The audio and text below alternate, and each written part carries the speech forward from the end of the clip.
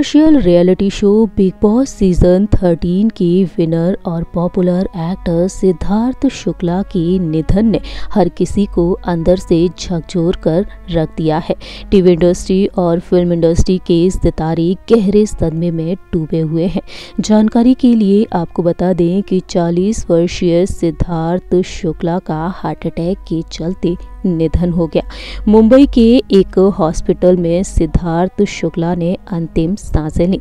Siddharth Shukla, TV industry का एक जाना माना नाम था।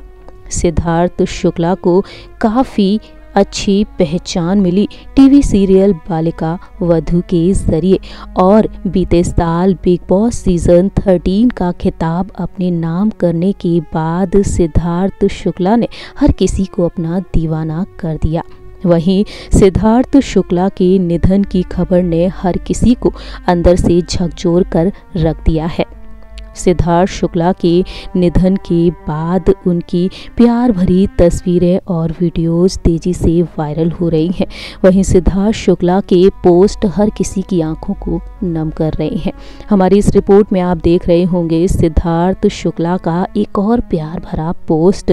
इस पोस्ट में सिद्धार्थ शुक्ला अपनी प्यारी, लाडली भतीजी को गोद में लिए हुए नज़र आ रहे हैं। इस तस्वीर को सिद्धार्थ शुक्ला ने इंस्टाग्राम अकाउंट पर शेयर किया रक्षा बंधन की खास मौके पर सिद्धार्थ शुक्ला यहाँ पर अपनी नीस को गोद में लिए हुए बैठे हुए हैं और कैप्शन में लिखा है, से hello to my young guest, niece and हाँ happy Rakshabandhan to all who are celebrating.